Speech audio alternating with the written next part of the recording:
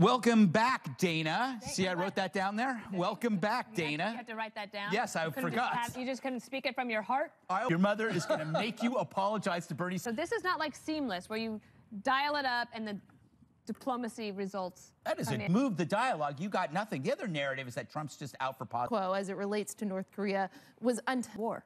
Sure, but I mean, so the big difference there is obviously Reagan there for Trump in terms of his base, but in terms of Republicans on Capitol Hill, they're saying, you know, That's a real emergency. It would be a war. Yeah, I, th- I can sort of I can understand. So it's just opposite day. no, I think people just don't want us to get. Think, Morgan, you have 58 former national security. It's just three months ago.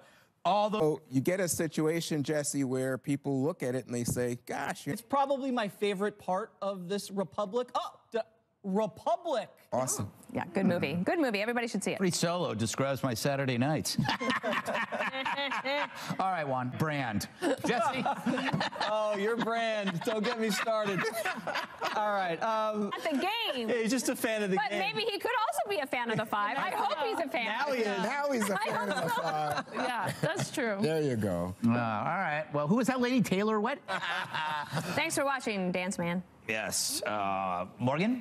All right, so um, some say if you've been to one engagement party, you've been to them all, but something tells me this one would be hard to forget. Listen to this.